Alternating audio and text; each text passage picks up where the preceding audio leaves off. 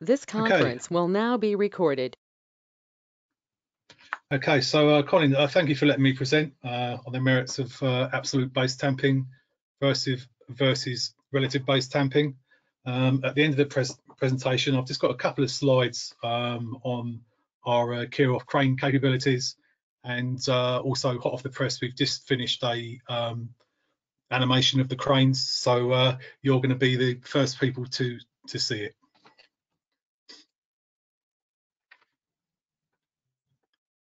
Right, so first of all, uh, SB Rail were formed in 2004, uh, making the joint venture one of the longest partnerships in the business. Uh, we are uh, renowned for innovation and first-of-class machines, um, including uh, the uh, Plasser and Theurer 09404 4S dyna dynamic tampers, the uh, AFM 2000 ballast regulators, uh, we also uh, introduced the sprinter concept of tamping to the UK. Um, the if, if you're not quite sure what the sprinter concept is, it's uh, this is for shortwave tamping.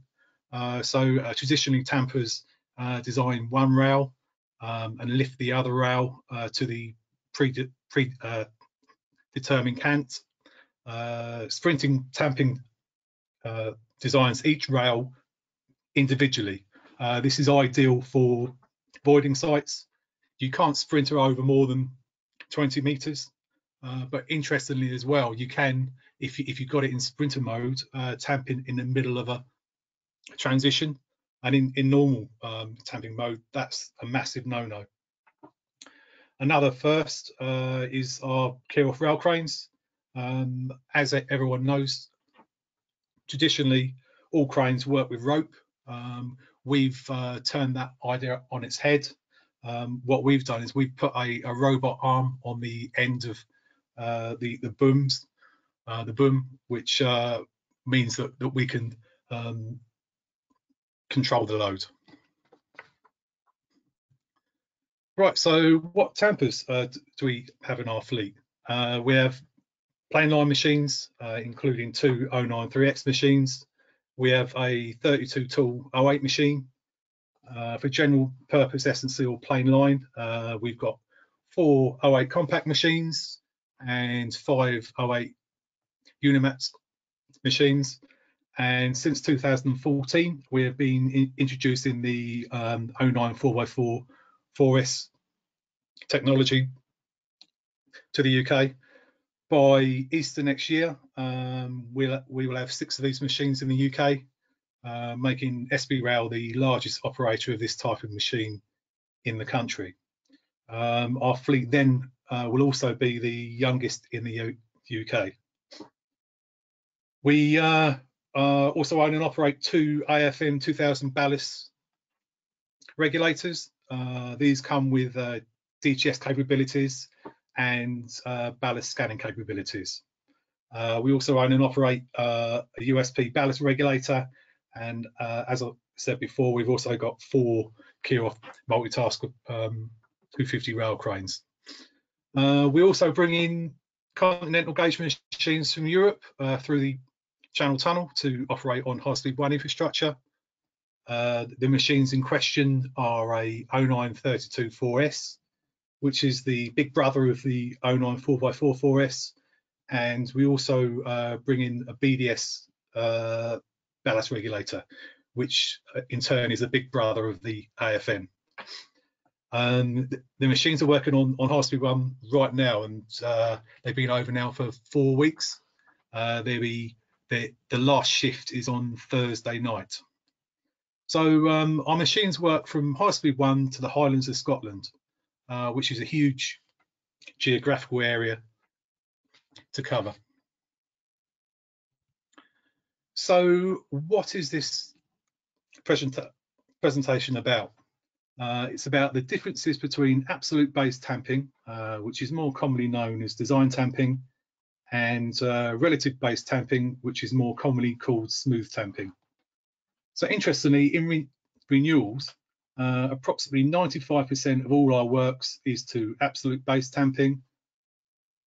But in uh, maintenance, it's around the other way. Uh, approximately 90% of all our works are relative base tamping. So a quick sip of water.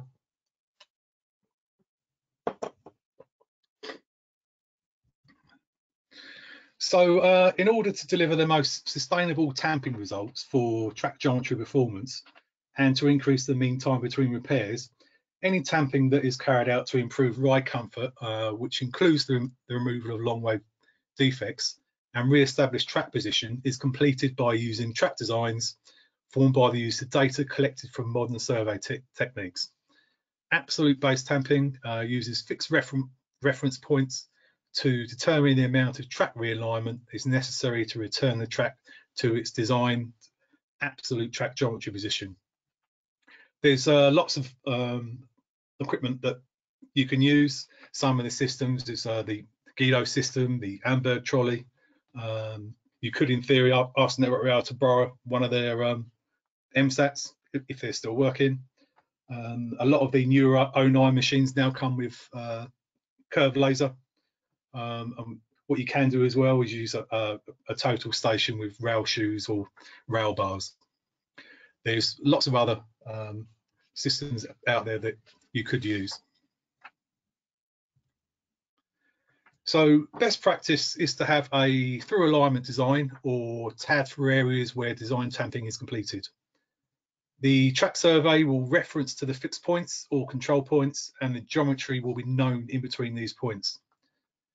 Using software supplied by the various survey ma manufacturers, a schedule of sloughs and lifts uh, along with the track geometry is produced. Limits can be set within the software uh, if slough and lift restrictions have been set, but rates of change in both sloughs and lifts should be counted for. Um, I know on uh, high speed one, uh, the allowable rate rate of change is uh, 0.25 uh, millimeters per metre. Uh, track designs can also be produced using an arbitrary survey grid uh, by just surveying the track, uh, but uh, obviously this will not tie into a TAD. So what are the advantages and disadvantages of, of uh, design tamping?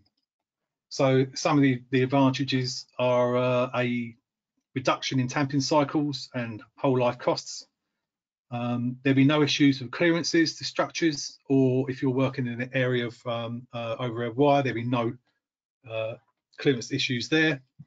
There'll be an increase in life for track infrastructure. There, there will definitely be an improvement in long wave track quality and ride comfort.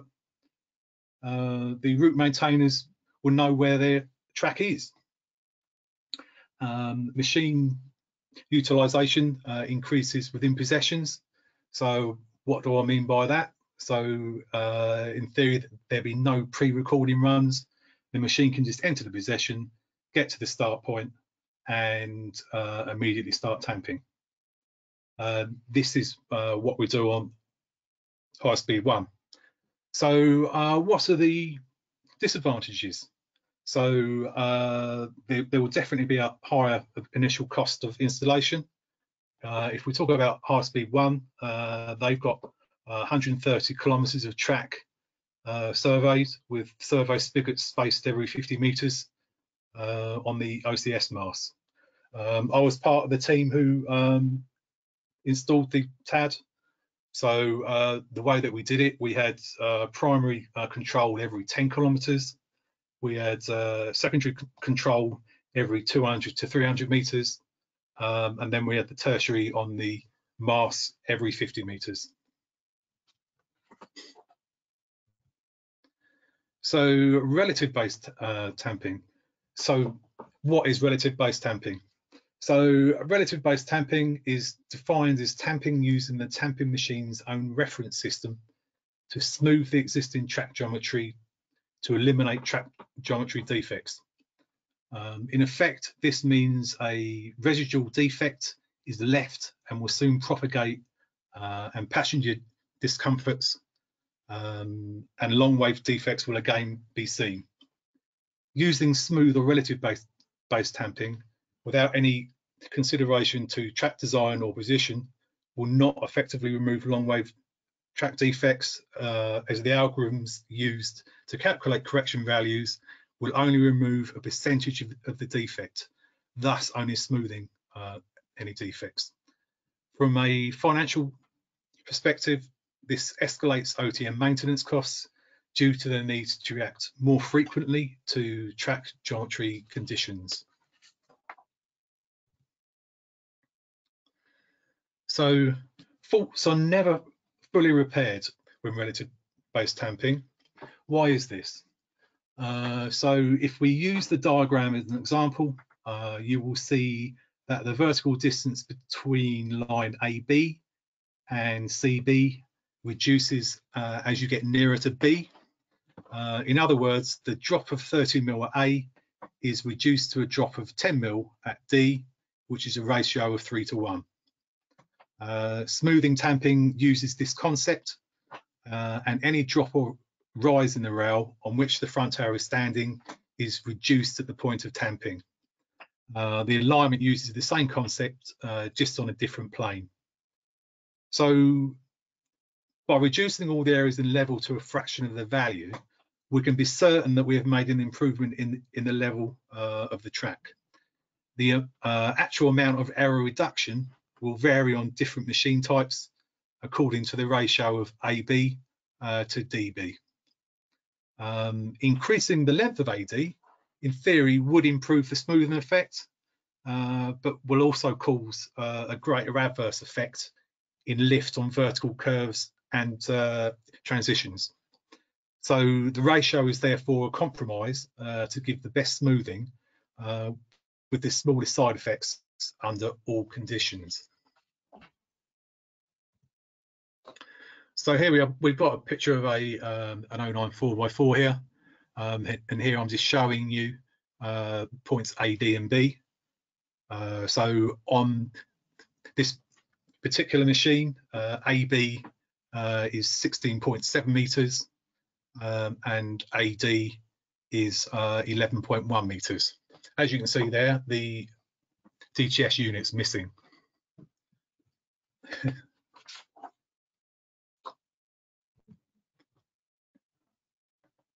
So what are the advantages and disadvantages of using the relative base method?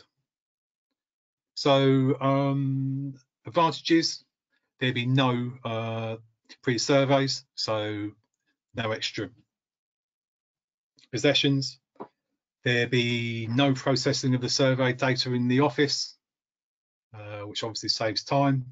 And being slightly controversial, uh, the customer um, does not require uh, high skill levels with their staff. So disadvantages, um, as I explained earlier, faults are never fully repaired. Uh, transition intersections are moved. Uh, over time, tops and bottoms of uh, transi transitions start to be pushed and pulled in all directions. Uh, if you look at some transitions in, in geometry viewing software, uh, they look like a elongated S, which is never good. Um, both the vertical and horizontal radii uh, can be changed from the original design. Uh, the cant can be changed from design, which is never good. Uh, you could definitely have issues with clearances.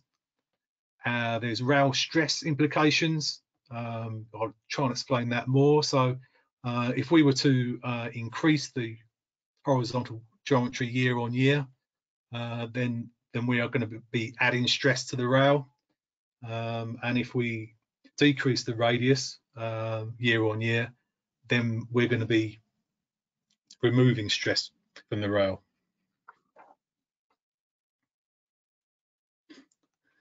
Screen. So the next uh, few slides uh, are just screenshots from uh, the front tower. This is what the operator can see. So um, on this one, this is the initial uh, relative measurement run, uh, which references the current track condition. So starting from the left, uh, we've got the lining window. As you can see there, this is showing a reverse curve, right hand to left hand. The center window uh, is the cant window. Uh, this all, always, um, this nearly always looks like the same as the lining window. Uh, the only exception would be if you had a, a non-canted curve. And the right window is the level window. Uh, the pink window is the measured longitudinal measurement.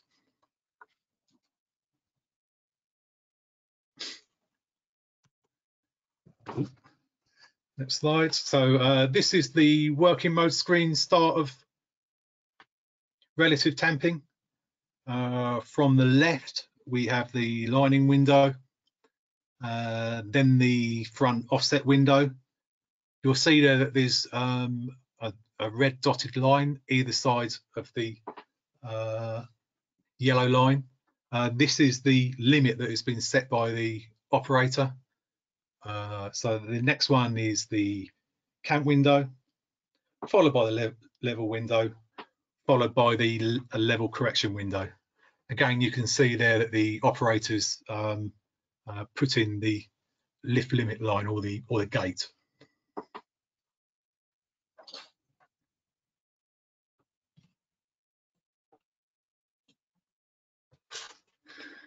Right, uh, next one.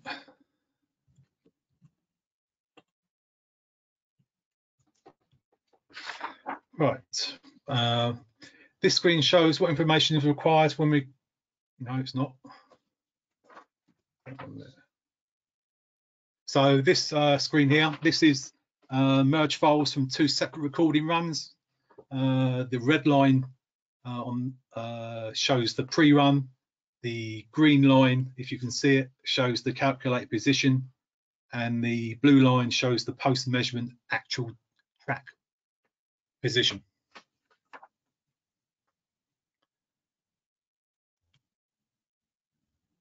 Right, so this screen shows what information is required uh, when we complete a design tamp.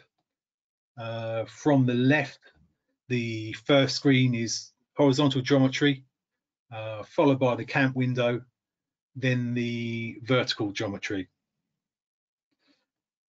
The two screens uh, on the right um, are the offsets uh, and level corrections uh, which will be applied to the geometry. Uh, for your information, the uh, blue horizontal line is the front encoder wheel. So um, the three screens on the left, that's the geometry file, and the two screens on the right, uh, that's the Verge file. So when you um, uh, press go on the tamper, those two files will merge uh, and you can start tamping. What we always do prior to actual actually tamping, we put it into a, a check mode uh, so, so we can run through the design um, prior to tamping. So why do we do this? Uh, for, for, example, if we were to have a, a gradient change uh, on a constant gradient, it's imperative uh, that the plus or minus gradient uh, is in the uh, correct plane. Um, if you get it wrong, uh, you're going to end up in a world of pain, which you don't want at half past three in the morning.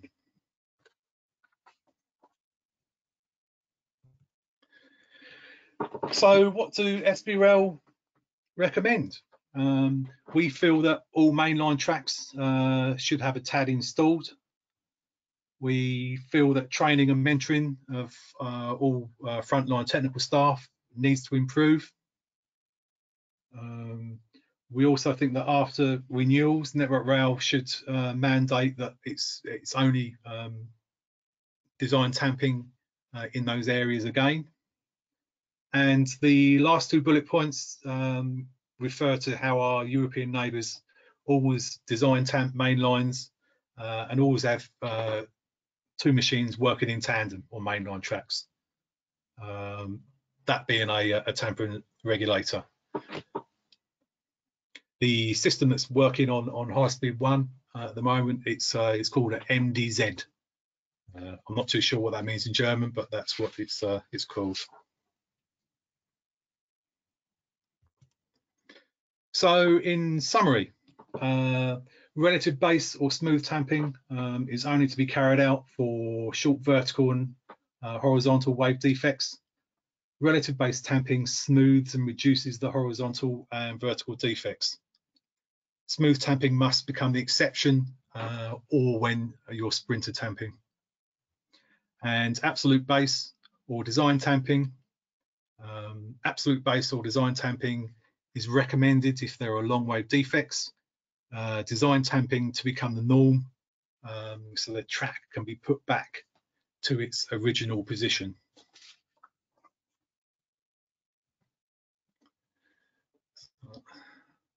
Right, now I'm just moving on to the uh, the, the crane slides. So um, SB Rail, uh, we operate four of these uh, KRC 250 cranes across the UK. Um, as you can see from the photo, uh, you can't see any rope there. Uh, at the end of the boom, uh, there's the articulated robot arm um, and we've got lots of uh, attachments that will fit into the uh, the white chassis that you can see at the bottom of the yellow boom. Right, okay. What I need to do now is just start the video.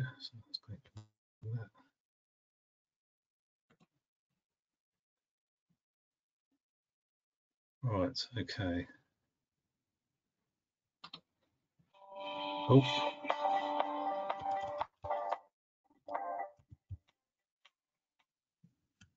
Right, so um,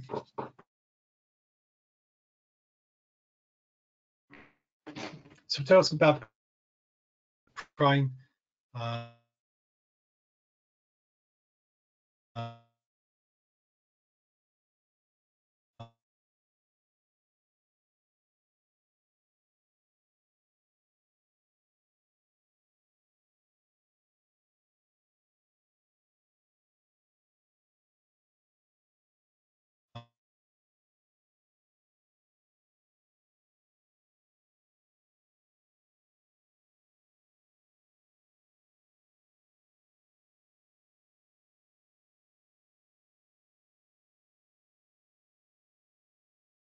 RAL develops the KRC 250 multitask uh, into a truly multidiscipline machine.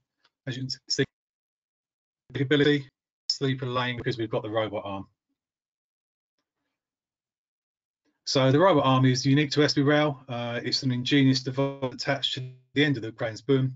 It operates through hydro hydraulically controlled pivots, uh, providing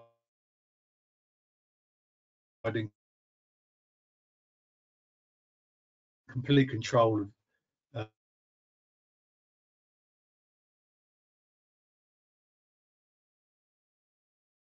uh,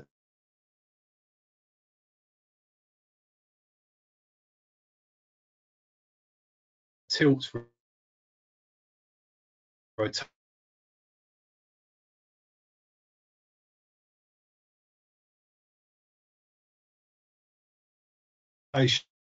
rotation inclination, long. Interestingly,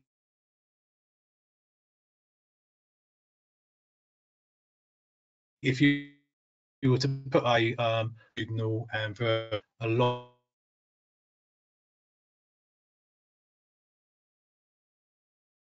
long beam on that, you could be a, a, a windmill. So this system is the KRC system. So this combines two of our cranes, 500 or tandem into uh, with one and a half tons, working ALO.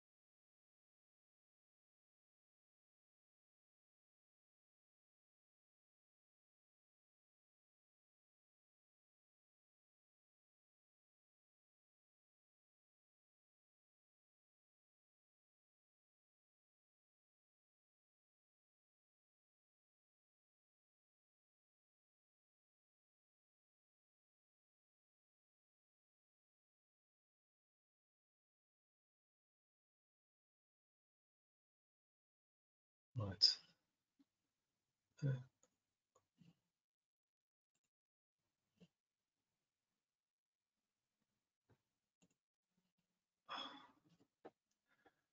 Right, that is it from me. That's uh, went through that a bit quick, but um, hopefully it was uh, informative. Thank you for that, Matt. Yeah, I certainly learned uh, quite a bit there. Um, uh, for everyone else, uh, on the right-hand side up in the chat box, if you uh, have any questions, if you just enter in there, then I'll ask them uh, uh, directly to Matt. And just while we're waiting, Matt, there was a few little um, connection issues on the video, not so much visually, but we struggled to hear the commentary on it as well. but no problem. I think the, the functionality come through loud and clear, excuse the pun. Um, but with the cranes, um, I think I'm right in saying the reach was um, 10 metres. What's the um, lifting capacity? It's uh, 25 ton. Uh, there's the uh, the Kirow cranes coming. Uh, there's the uh, in the UK. There's the KRC 250, uh, which can lift um, 25 ten, ton. There's the Kirow 810, uh, which can lift approximately 70, 75 ton. And there's the Kirow uh, 1200, which can lift 100 ton. Wow. So it's, it's horses for courses uh, on, on jobs, really. Excellent. Very good. Uh, is there any questions from anyone else out there? Yeah, Colin, I've got a question actually. Um, is Phil Edwards. Um, have Have you actually used um, the Kirow cranes to do any high speed switch replacements? Uh, you know, we, some of the high speed switches are very very long. Uh, yeah, you probably uh, need two two Kirows in some instances. Uh, yes, yeah, we would. Sorry, um, we've got the machines approved to work on on high speed one. Uh, that was done about a, about a year ago. Uh, and, and, we have looked at different working methods of uh, of swapping out the S&C. Um, uh, luckily uh, for High Speed One, they haven't had to change any for a while. So uh, yeah, but the it, it, it has been looked into. Okay, thanks.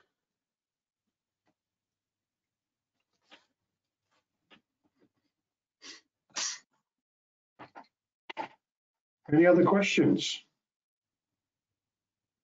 I think your presentation must have been uh, uh, very uh, educational. Um, Colin, I have a question here. Colin, do you want me to run the um, the video with the sound on? So uh, maybe it, it'll come through then. We can try that. Yeah, let's try that. Okay.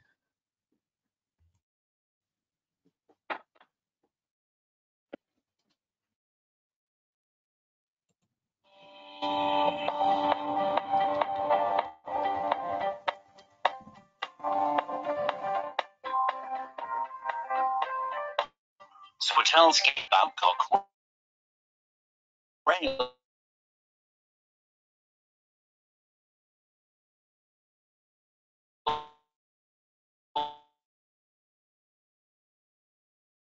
has developed the key multi-disrupt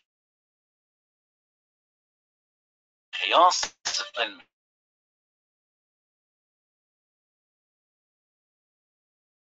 Machine with a series of innovative attachments.